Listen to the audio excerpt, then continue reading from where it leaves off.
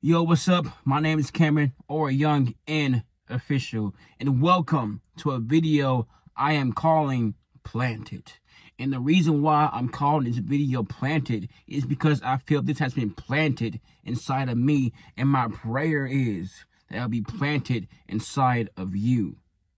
And this is what I feel God has been showing and has been telling me.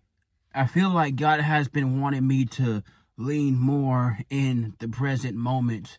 Don't worry about yesterday.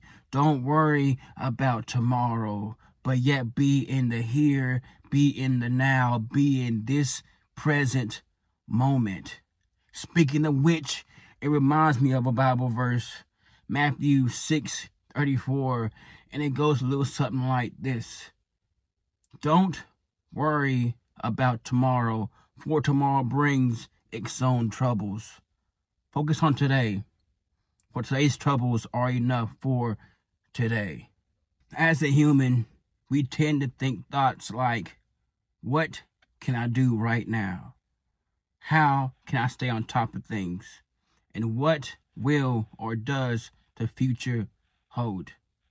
When these thoughts come to me, I tend to go back and reflect on the present moment.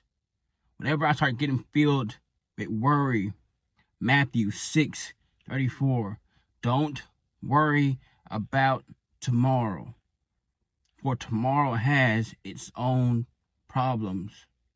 Worry about today, for today's problems are enough for today.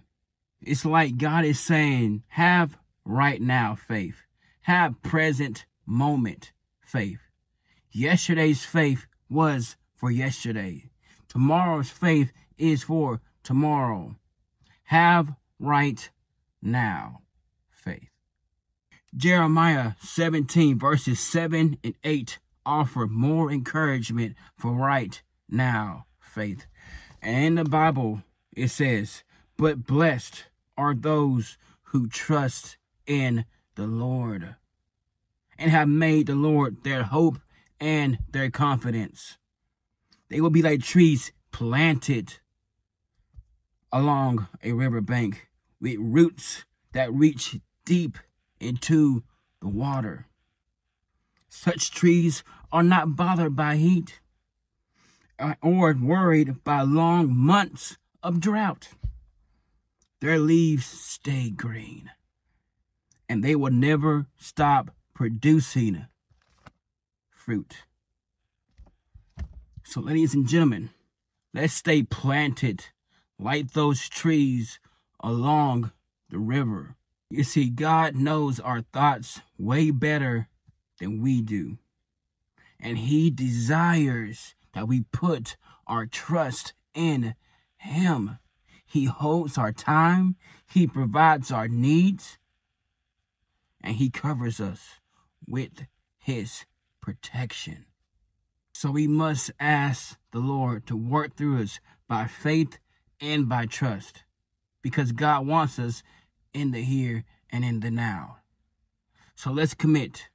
You commit, I commit. Let's commit to be like those trees rooted and planted by the water. Because in God's blessing is his strength. And in God's blessing he will replenish and help us stay vital and help us stay green. In tough times, no matter the season, we will be able to bear fruit as long as we abide in Him.